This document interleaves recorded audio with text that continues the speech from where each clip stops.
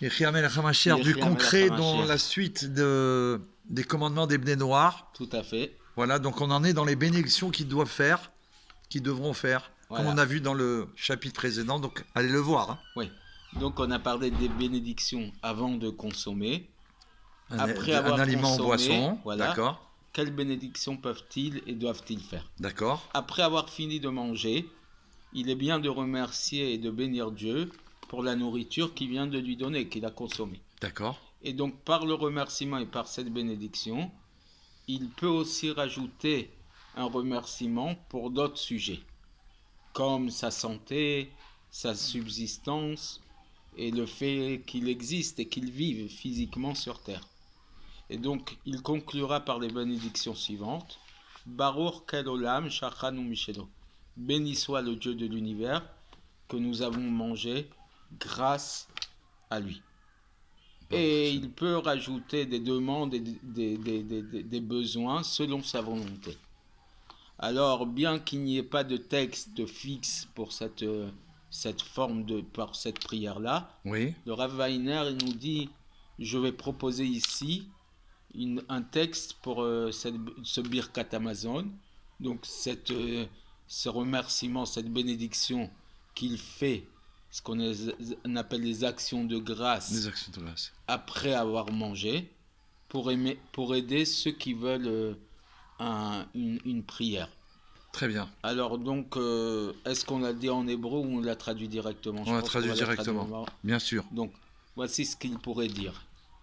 Nous te remercions, Maître du monde, celui qui nourrit le monde entier par sa bonté, par sa grâce, sa miséricorde, celui, virgule, ce qui- celui qui donne du pain à tout être euh, vivant de chair et de sang, parce que tout lui appartient. Et par sa grande bonté avec nous, il nous a fait manquer de rien, et il nous fera manquer de rien non plus pour le futur, pour l'éternité. Virgule, en faveur de son grand nom, qui est donc le Dieu qui nourrit et qui donne la subsistance à tout, à tous, À tous. et qu'il fait du bien à tout univers, et qu'il prépare de la nourriture à toute créature qu'il a créée. Comme nous le disons, Poter achet yadecha, ouvre tes mains, celui qui ouvre ses mains et qui rassasie pour tout être de chair et tout être vivant. Et donc en terminant, béni soit le Dieu de l'univers que nous avons mangé grâce à lui Extraordinaire. de grâce. Et ça, c'est donc après l'avoir remercié, on peut Donc, intégrer une supplication. Donc de grâce, je te supplie, Maître du monde, donne-nous avec ta grande miséricorde la, vie, la, santé, santé. la subsistance et la nourriture pour que nous puissions toujours te louer et te remercier et que nous n'ayons pas besoin ni le, un cadeau, le, le- cadeau d'un être de chair et de sang, le cadeau gratuit, et ni de leur euh, avoir besoin de leur prêt. Parce que euh, euh, seulement de ta main remplie, ouverte et large, nous avons besoin de tout ça. De manière à ce que nous n'ayons pas honte et nous ne blêmissions pas pour l'éternité.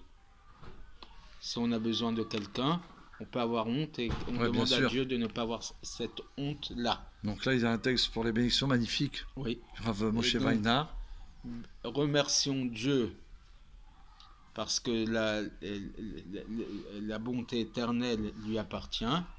Et on termine et il propose cette fin de bénédiction. Béni est l'homme qui a confiance en Dieu et Dieu deviendra son confident. Extraordinaire, la bracha que, le, que Rav Weiner nous propose. Donc là, il y a de quoi faire. Oui. Il faut garder ça véritablement pour pouvoir les. Je propose comme à nos élèves de les inscrire, de les avoir avec soi pour pouvoir les faire, jusqu'à les apprendre par cœur. Effectivement. À très nouvelles. bientôt, des bonnes nouvelles. Rien.